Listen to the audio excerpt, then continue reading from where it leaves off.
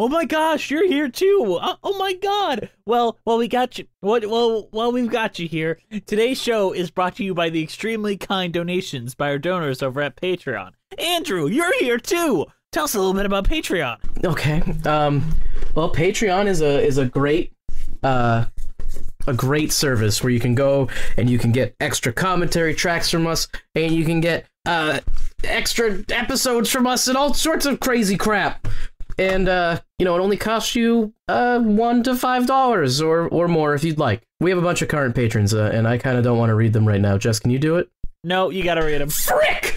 All right, our current patrons are Stephanie L., Terry Needleman, Max Lunig, Benjamin Lear, Lily Ackles, Mackenzie Horner, John Donna, Taryn the Duck, Melissa Goldman, Jess Lightning, Ewan Cassidy, Haley McDonald, Taskir, Colin McLeod, Fire of September, Mina Muniri, Mon- Monica Thoreau, Brent Black, Haley Murray, Allison Wonderland, B-Way Flicks, Michael Johan, Nathaniel Stacy Coombe, Joseph Evans Green, Luna Rocks 222, you're a drag, Joel Witter, William Wanton, Carrie Ahern.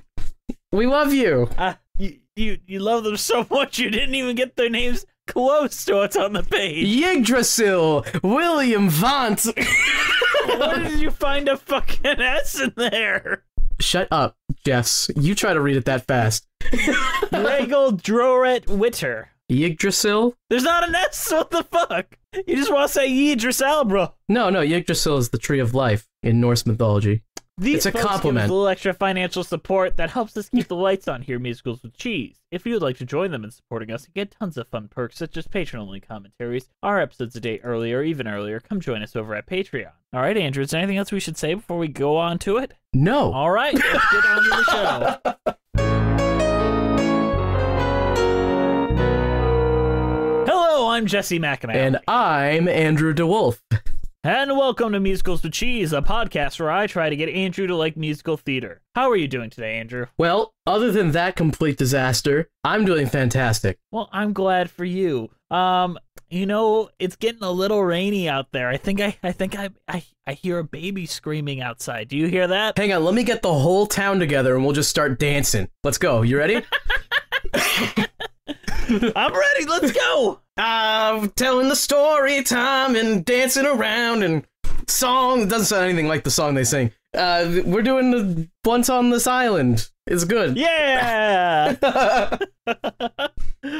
We dance to the music of the clock. The music of the breezes through the green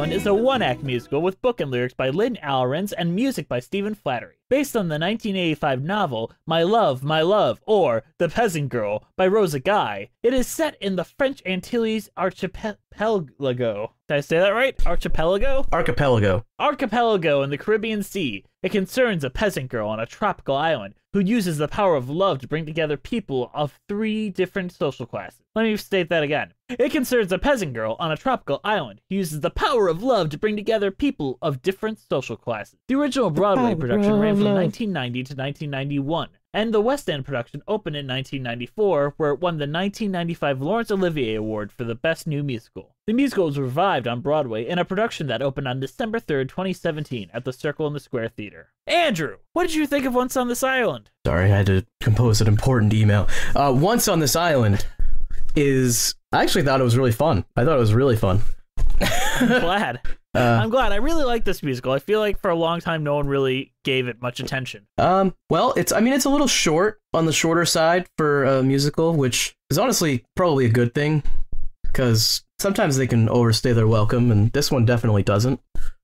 Uh, it's got a really fun story to it, and I like all the very uh, over the top supernatural uh, fantasy type elements to it. Um, but it's also grounded by uh, a romance, which I don't know. And a lot of the music is really good, very uh, bouncy and fun. It's like if Jimmy Buffett had like some taste. It's like if Jimmy Buffett wrote a bunch of songs and then someone else saw those songs and put them into a shredder and destroyed them and then wrote new songs that are better.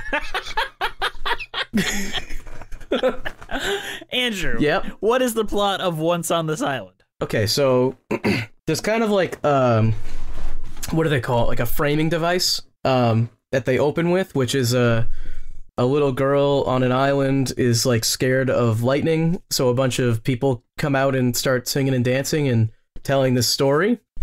And the remainder of the show is the uh the story they tell. Although they they do come back to the framing device like once or twice. Um so the story that they tell is about this um this girl, which her name is I'm. This is worse than our patrons. I can't pronounce Team it. Moon. Ti Moune.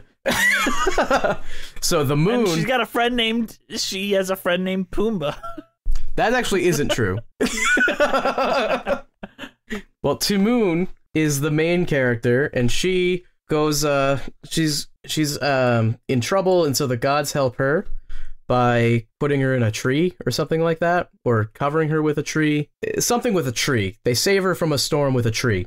Um, and then There was someone in the tree. not well she might have been in the tree i couldn't tell if she was supposed to be under the tree or in the tree um but i don't know that's probably me just not hearing the lyrics a common thing that happens um You know, Andrew just kind of half pays attention to most of these musicals. i listen to them it's just i don't remember lyrics that well um Words are hard for him.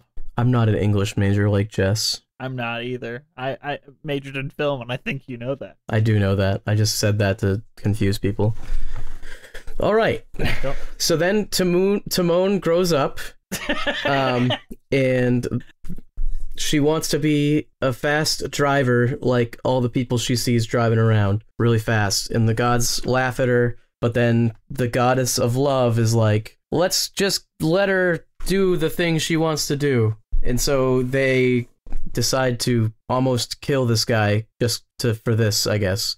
They have they have this guy daniel crash into her house or something that how it happens? Is that how I finally meet the guy in my dreams, Andrew? He's just, for gonna he's just gonna crash? crash right into your house. He's gonna plow into the living room. You're gonna be like, oh, you're the one. Well, I mean, literally though, she falls in love with him when he's still knocked out. Hey, there's a lot of Disney stories that reverse that and the same way. I I understand that. I'm just I feel like people criticize those stories, so I think I'm allowed to criticize this story as well. nope, you're not. Okay, Who said you're allowed to have an opinion on this show about your opinion? Shut up. Okay, so uh, this is like a, a rich guy was driving a car who drives cars really fast, and he gets knocked out, and so Timon decides to uh, help save him, help heal him, and then when he wakes up, they fall in love. There's some other thing where he has to go back to his house, and she has to leave her family to go follow him. Um, so that he, she has to do that too.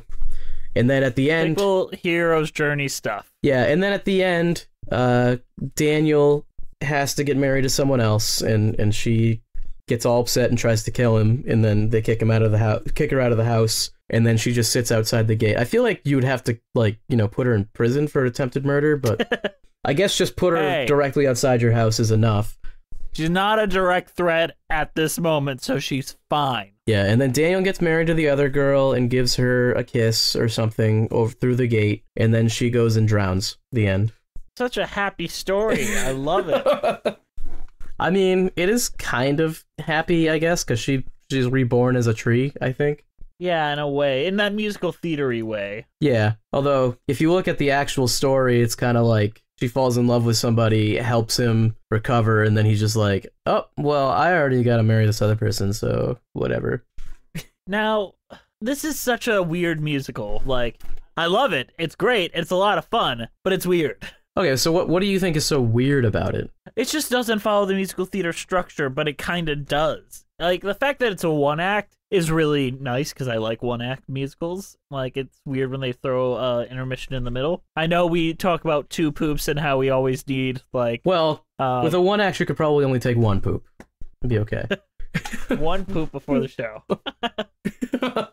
Um, but it does have the highlights of musical theater. Like she has a very clear "I Want" song, and it's very nice and it makes sense. Yeah.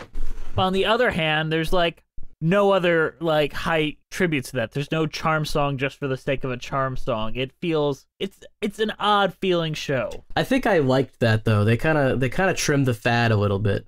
You know, it's like It feels like a lot of hands have been like altering this over the years. I suppose I I what I kind of get from it is that every song is a specific plot point and it just keeps moving, which is nice. It's rare. It's There's- very rare. There's really no songs that's like, well, that could probably get cut that. Yeah, that could probably be gone, but I guess it's kind of fun. Like that doesn't happen in this. Everything is there for a reason. The I think the only I'd thing the closest to just a fun song was the so- Mama song. Mama will provide. Yeah, but even that is her. That's her journey to uh, Right. away from her family, and it's it's uh, the Earth God saying that she'll help. Mm-hmm. Which, yeah, it probably could get cut that one, but it is it is technically a plot point. It's so much fun though. Like I have no regrets. Like so for context, me and Andrew watched the 2017 Broadway revival um bootleg. A lot of sand. There is a lot of sand. Lot- they turned the Circle in the Square Theater into like this incredible looking like beach area. It looked like so cool. Is that real sand? Do you think? Like, do you think there's actors? Yeah, it's real sand. Actors have sand in their shoes afterwards, and Oh, a hundred percent. Hmm. Because I've seen like making up like they have actual animals there, like goats and shit roaming around. yeah. Have you ever danced in sand? It's not a good thing. I hate sand in general. It's coarse, it's Grainy. It gets, everywhere. everywhere. It's it's awful. Not like here. Here everything's soft and smooth. Yeah. Um. I don't know where you are that everything is smooth, but It's Michigan. Michigan, you drive into Michigan and everything's rubber. Actually, that's a lie. Um, we are notoriously have the worst roads in the entire country. Well, I mean, how many lakes do you guys have City. there? You you got like the state of like a bazillion lakes. We're known for our lakes and our lighthouses and nothing else. Fair All enough. right, Andrew. Which god are you? Which god do you relate with most? A Obviously, the Edge Lord God. Come on. Shadow the Hedgehog, God of Death. He was such like a ridiculous thing to pop up. Like the music that goes alongside him is like so ridiculous too. I I like the song, uh, the Forever Yours song that he does though. Yeah, that's great. It doesn't fit with the rest of the show in a weird way. It feels so different from the Well, rest of it's it. the villain. You know, he's allowed to have a little bit of different. Is it a she in this one? I feel like it was a she in this one. It- I- yeah, I mean, it's been there's been so many versions, dude. I don't really. It doesn't matter that much. I just I keep saying Um, he because yeah, the- it was a lady. their name Merle- their name Merle is Dandridge. is Papa Ge, Papa G. Papa, Papa Uh, so I'm like I just I see Papa and I'm like he. Here, gender is a little bit more fluid. Yeah, their name's Like, actually even- it's short for Papa Gender. That's their name. I mean, even in the, the "Mama Will Provide" song, I forget that character's actual name. I Well, we know gods don't have genders. Yeah, which I kind of like. Um, but my favorite guy. I mean, Loki gave birth to a might just- horse, but also. What's your favorite Uh, god? I I liked um the goddess of love. Ur- Erzulie? Urzu- Erzulie? Yeah. I think and I just might be because I'm a sucker for Lea Salonga. I think Agwe's costume was kind of crappy, to be honest. Why? It was just like they were like, "How do we represent him as water?" And they're just like, "Oh, we'll just wrap him in blue." What do you think about Asaka, the mother of Earth, where she's just got like this jersey on and like a little bit? I actually kind of liked that because she's supposed to be like earthy and like she's dressed like a person would dress, and I I don't know, I kind of I could see Which it. is fa- okay. I, like that now that you've put that into my head. Whereas Agwe, I mean, he fit uh, the, the it fits because yeah, water is blue. Um, but No water is clear. It's just just shut your mouth, okay? Water's as blue as it comes. Okay, I love blue water and I drink it all day long. mouthwash is blue water. the stuff that represents period flow on commercials is blue water. Shouldn't that at least be red water? I don't. We're so Do afraid of that, that? stuff, Jess. Everyone hates We're that. so afraid of ladies and and and the vaginal flow. I mean, I guess I probably wouldn't want to see that on TV. Probably nobody would, I want would. to see that on TV. I want to see all the clots and shit. Show it to me. Okay, there's there's actually probably some people that do want to see that on TV. I take that back. You gotta see the reality so we can start like funding these and getting women free tampons. I mean, I agree with that. That's mostly where I stand on that. Like, as soon as we realize how necessary that shit is, that it isn't just something you can hold in for a day, because a lot of dumbasses think that shit. Wait, really? That's something people think? Yeah, I heard a guy, a motherfucker, like a week ago say, I don't get why girls just can't just hold in their tampon. I can hold in my poop all day. Motherfucker, do you not know that just work? I mean, that's pretty dumb. This guy was in his 50s and married. That's a good relationship with a lot of communication, I'm sure.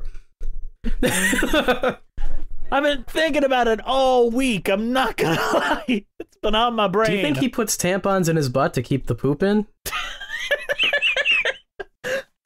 Can we make a t-shirt out of that, guys? Would you buy that? Nobody would buy that, Jess. um Okay, back to the back to the story. You sound like you need a tampon in your butt. What do you think of all the Daniel stuff? It is cliche and like the least fun part of the story. If that yeah, makes and sense. he kind of he kind of is unlikable, especially near the end when he like ditches her. he feels like a prop more than a character. Yeah. And I know that's used a lot as like dismissing like a lot of romantic stories and musicals, but this is one of the times where everything else is just so interesting. You got all these gods, and then you just got this boring ass white guy and like his stupid story. Well, I mean, they give him a cool backstory where like his family's cursed and can't they can't leave the island, and yeah, but there's no resolution to that. it's kind of like cool mo- motive still murder. Like, yeah, okay, you got you said that his history is pretty interesting, but him as a person isn't. Well, he likes to race his car around. At least at the beginning, he does. So he's George Lucas. Now this is pod racing. No, that's Anakin Skywalker. Actually, well, George Lucas made the movie. Now this is vehicular manslaughter. Very true. Anakin Skywalker actually did that. It's What do you think? Kind of. What do you think of the framing device? Like, I almost feel like it's not necessary. I think it's too much fun to have that opening number though. Like I like the opening number. So I almost much. feel like they wrote that opening number and they're like, we can't fit this anywhere, so like, let's just make this other part. and it's hard to set up this world without that framing device. I mean, I don't think it'd be that hard. Just if we just go right into it, it's like uh it's like Moana or something like that, where you just go right into it and there's gods and okay, I get it. I I mean, that's with a movie where you can show a lot more things visually. Where in a musical, I know you hate this, but you kind of got to tell everyone everything. We'll just put it in the little pamphlet that they have. All right. Ah. Um. Who? Okay. I what did you think of our lead Carol, um, Timon, Timon, as you're calling her? Timon. Well, I mean, you're the one who said Pumbaa. Uh.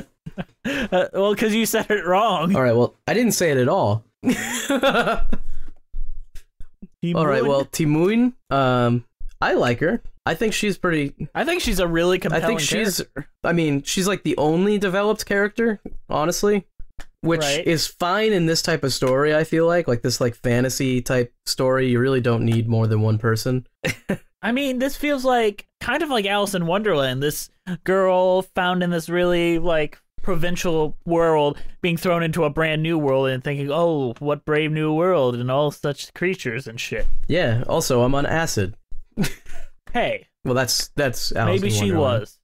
That's how Alice in Wonderland ends with her walking into the sea to drown herself peacefully. I don't remember how Alice in Wonderland ends. It ends with her waking up. That is like the worst ending. Is that where they started that ending? Um, I mean, The Wizard of Oz starts with her waking up too. That's Ends with her waking up. I guess it's a really crappy ending.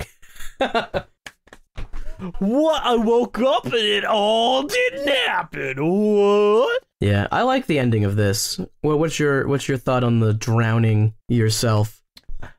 I think every musical should end in a suicide. It is very much a recurring thing in musical theater that suicides just keep on happening and be musicalized as either positive or negative things. It's true. I mean, how many suicides have we covered already? I mean, we got this one, Javert. uh, Javert, Soleil Miz.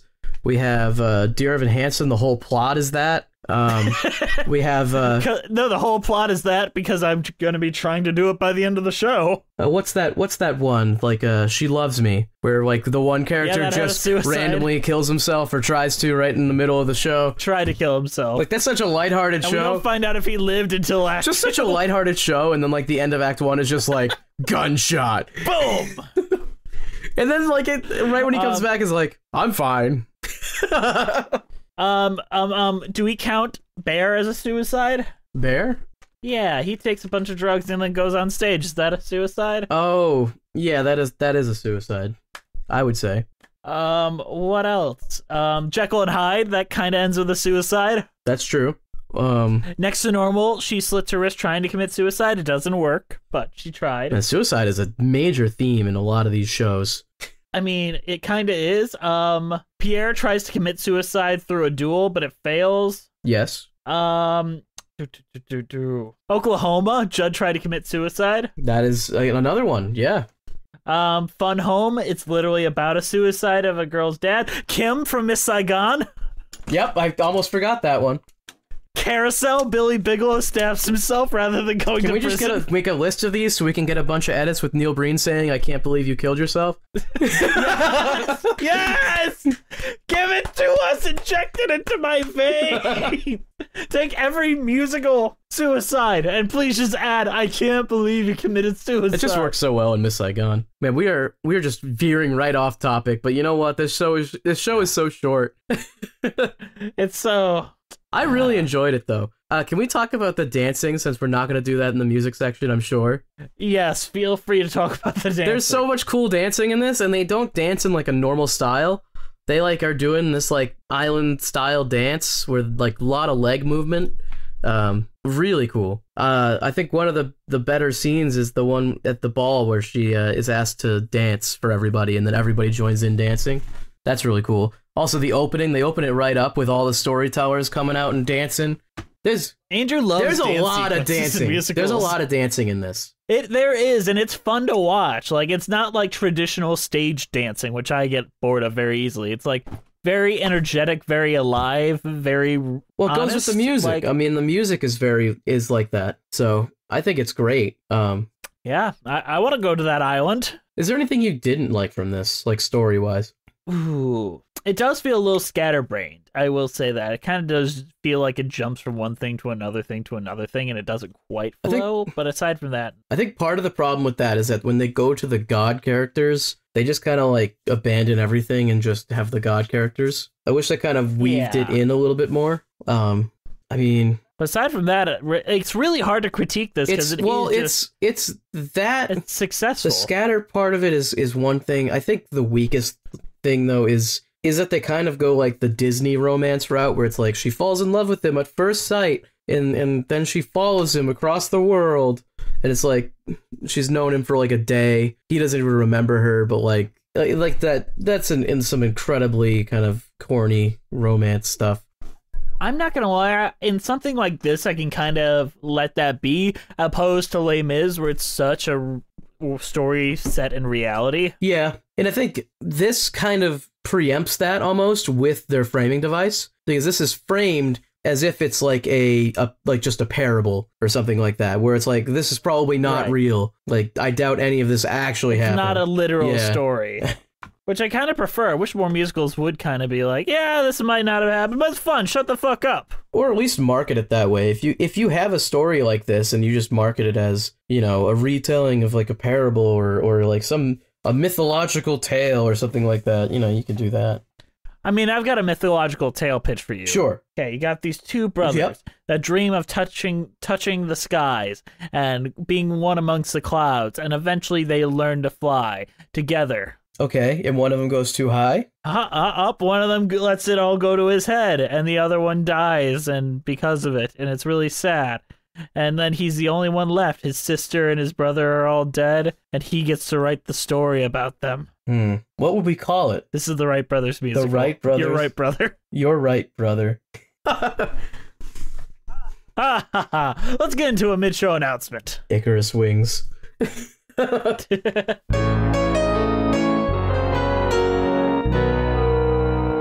Hey, sorry to interrupt you in the middle of the show, but we've got a shill at you. Hey, today's show is brought to you by the extremely kind donations by our donors over at Patreon. Andrew, tell us a little bit about Patreon and who our donors are. Uh, Patreon is where you can donate to us if you want to give us some money and also receive some extra perks like uh, after parties for some episodes and uh, uh, commentary tracks, which is our main thing. Um, we like the common trees, and we'll be recording another one this Friday. Wait, very soon. well, no, by this bit, by this point, it should be up there. Like, unless everything falls Oh, apart. it's gonna be a great one, or is a great one currently.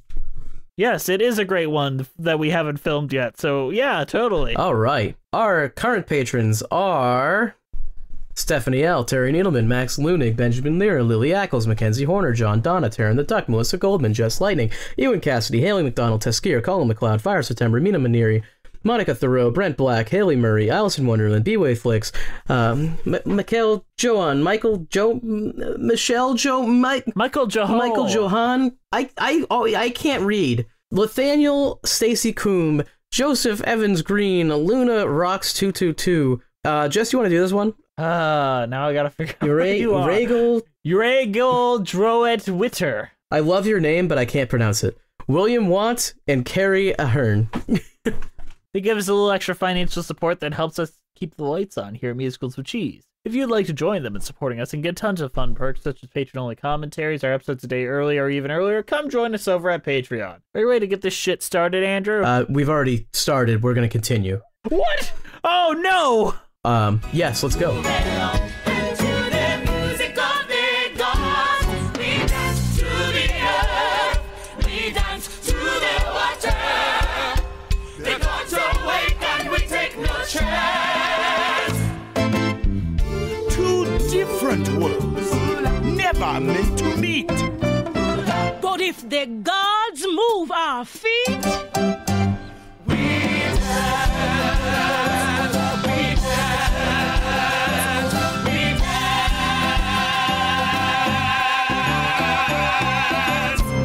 What do you think of the opening number, the prologue slash we dance? All right. Well, the music in this is pretty solid throughout. I will say. Um, they have a very like.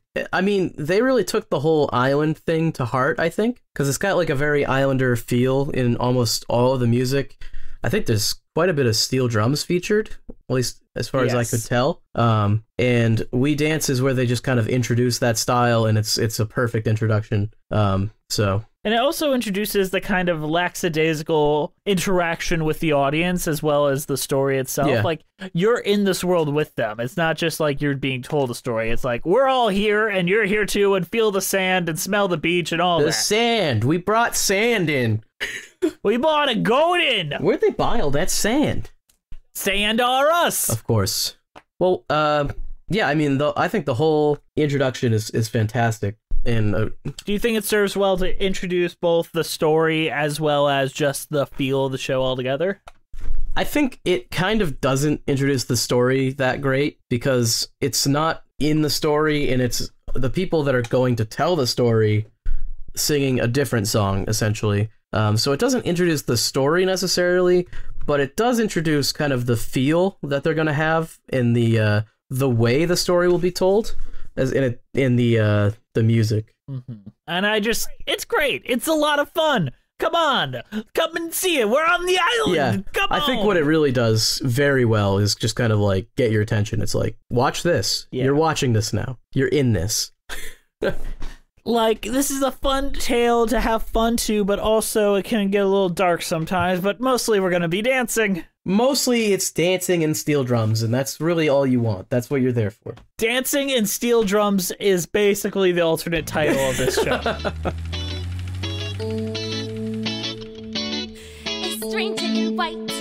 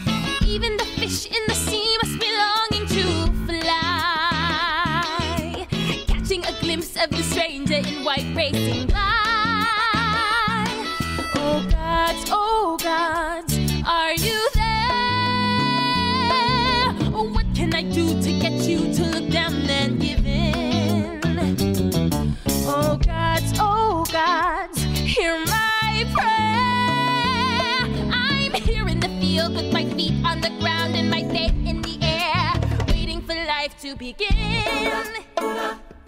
What's the next song you actually want to talk about? I want to talk about Waiting for Life. That's the like big I want Yes. number. Um, I think they do a pretty good job with this. Yes.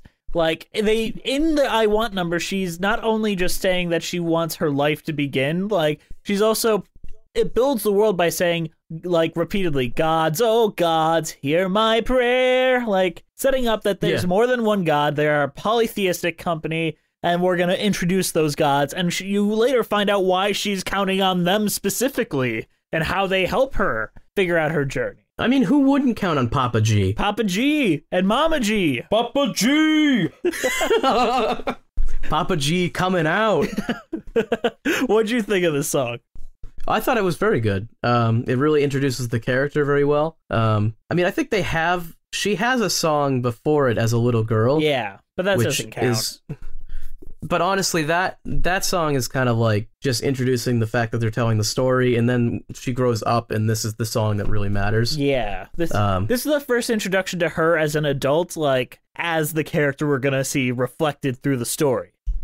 And let's just say it. I mean, when you're a child, you're not a human, essentially. You're not. You're not- incomplete work, and I don't give credit for incomplete work. no credit. That's why if I was a teacher, I would fail every single student unless they were over 18. Then I'd ask him out. hey, what you doing this weekend? Uh, do you have any opinion on the uh, the gods song that is in response to her song? Um, I think it's it's interesting. Like it, it kind of sets I like I like the interaction between the char- the four characters. right. It lets you. You got you got the three of them that are like antagonizing uh, Ti Moune, um, but then but then the one is just like we should help her, and they're all like, yeah, we should. uh, wait, I mean, it, it's a comedy number, like more or it's, less. uh, yeah. I mean, I think most of the god characters are kind of played for for yucks. Either yucks or just high energy. Yeah, except for Papa Ge, who was played for the spook factor. Spook Factor. Oh god. They're scary. I mean, Papa Ge is like a skeleton. Papa Ge needs to be your like rap name, please. I don't actually know how you're supposed to pronounce that. I think they said it in the in the show, but I can't remember. Yeah, but I don't I don't know either, but I, I know that he he sure has a presence on the stage. I know somebody's gonna tell me I'm being super insensitive saying Papa Ge, but I don't care. I mean, you guys are the least researched musical theater thing, and I like musical theater, and this is not musical theater.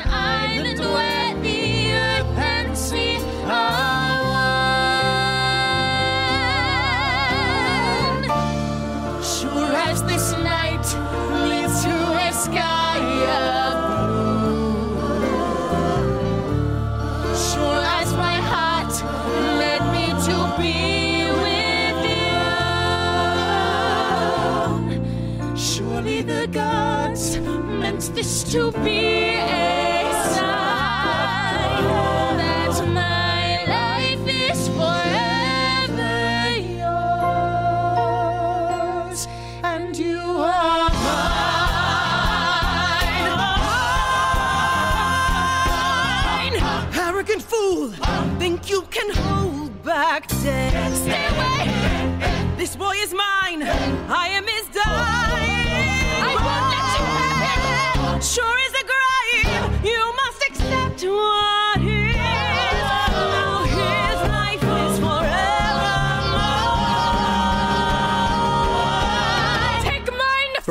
yours Sure, first? go into it. Let's go, boy. I mean, this is this is the like romance number. and I feel Right. like it's kind of important. Yep, that's important. to Um, it. It's when Daniel and Ti Moune are finally brought together by the vicissitudes of fate. Yes, but uh, Daniel is still like on his deathbed essentially, and and Papa Ge shows up to uh, take them, and he twists the song into this like forever mine Yes. kind of It thing, is so which is cool. great.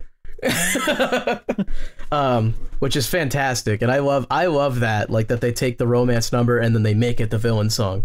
I think they should do that more often. Like Mother Knows Best would have been better if like it started with Flynn Rider and um what's her name like doing kink play and then the mother Gothel comes in and is like, No, Mother knows best. Don't put the dildo in him. Oh God. I think we watched a different show, Jess. I feel like we watched a different movie on that one. Hey, hey. All right.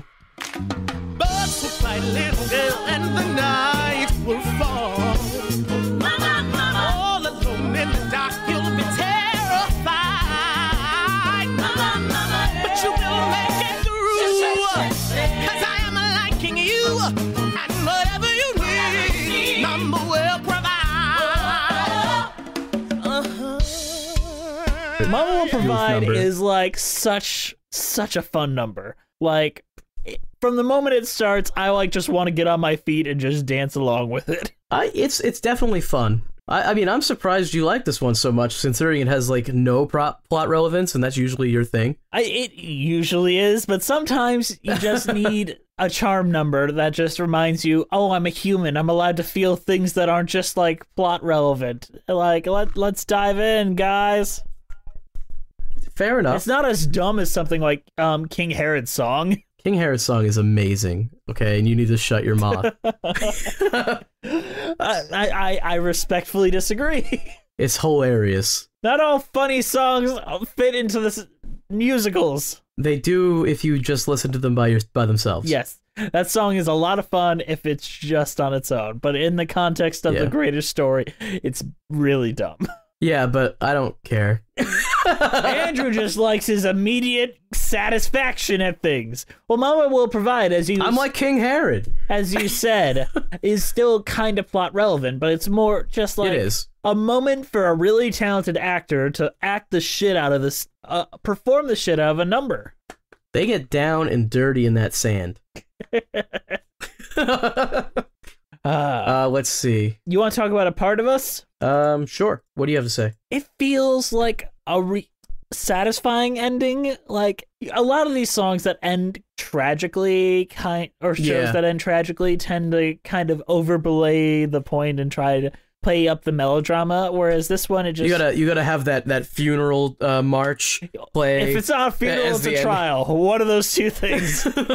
yeah, this one it's a you know they, I I don't even remember them really showing that much of the death. It's mostly the tree that they show, right?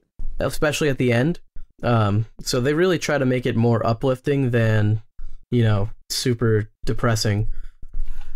Yeah, and in this like in this world where there's multiple gods and polytheism and all that, it doesn't really view death as which I find interesting as a bad thing. It's like more becoming Well, one they do. peace. They do view death as a bad thing. I mean, death, the god of death, is the main villain. So it is certainly something they're trying to avoid.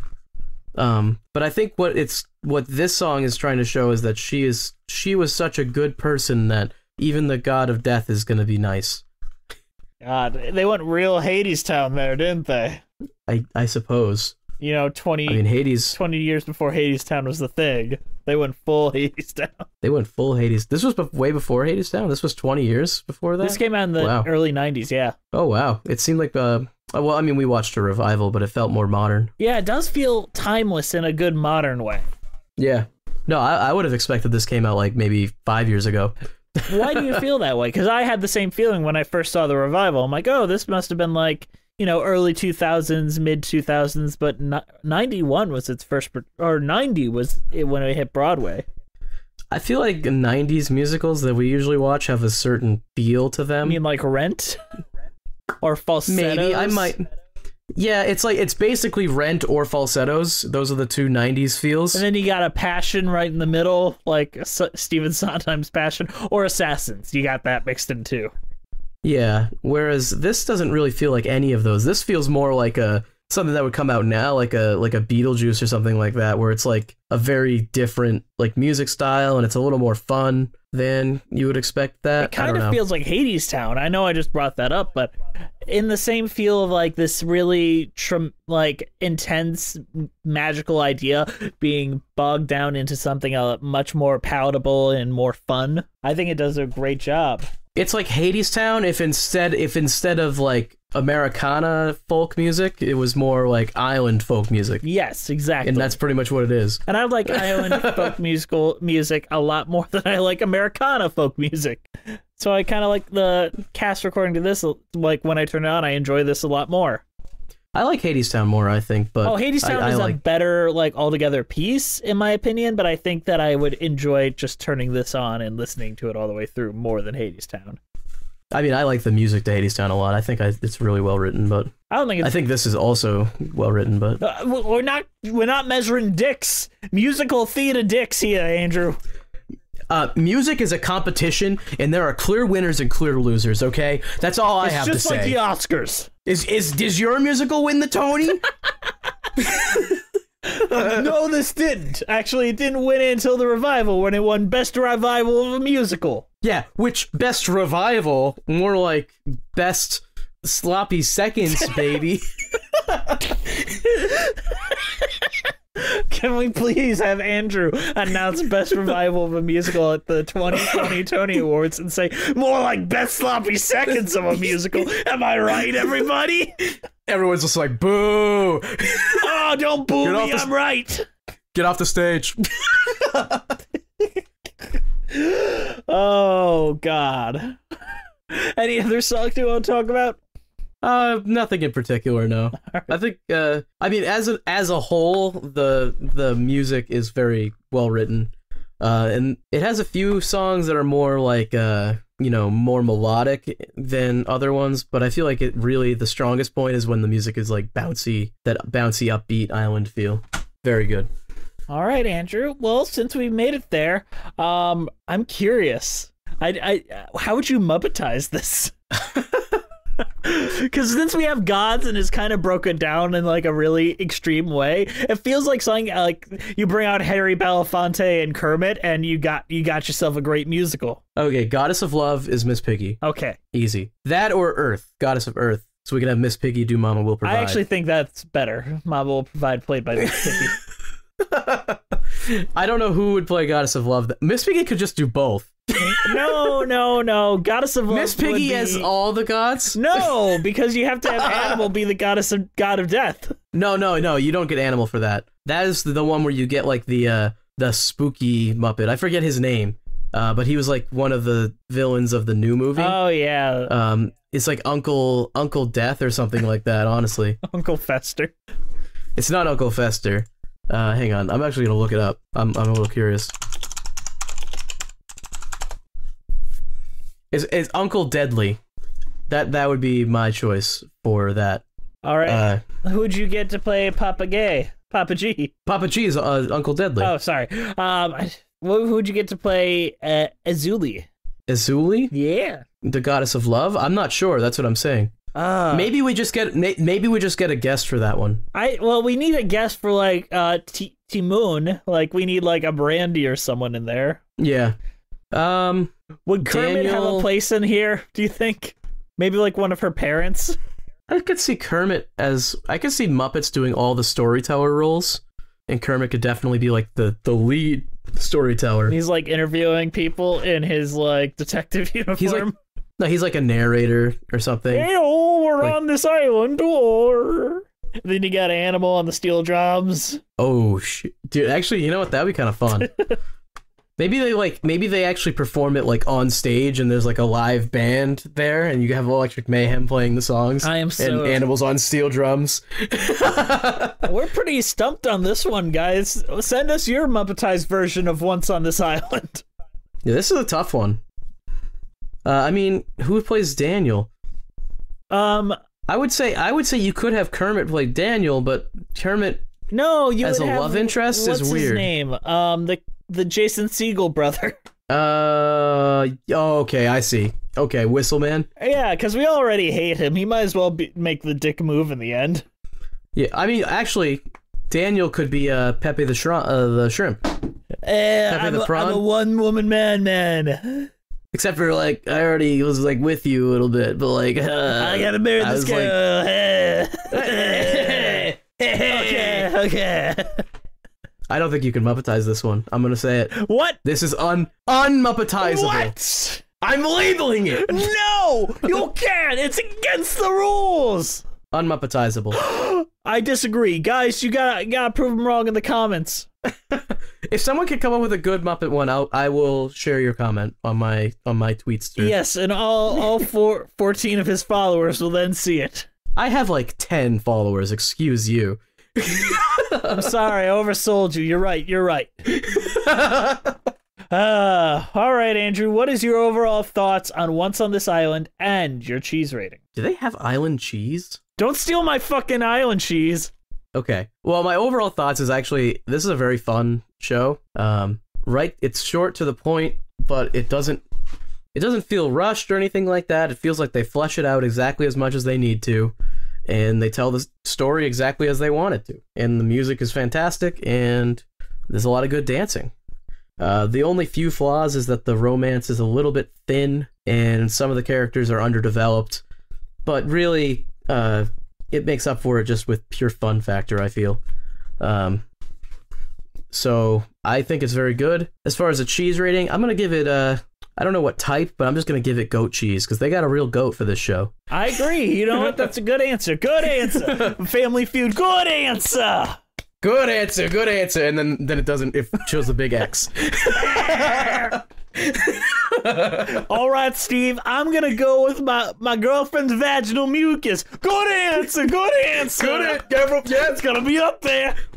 Uh, the the question was condiments. Uh, I said what I said. Let's go.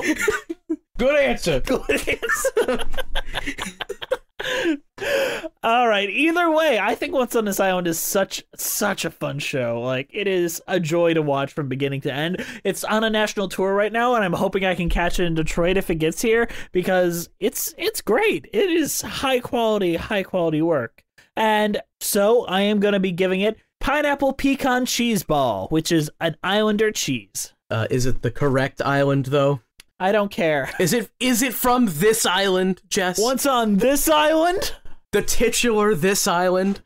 Ah, you're right, Andrew. Oh, I've gone too far in a few places. He's gone too far. Gone too far in a few We, places. we got we gotta stop it. We gotta stop this. Jess just has George Lucas on his mind right now. George Lucas is always on my mind. If you if you went into Jess's brain, the whole thing would just be flannel.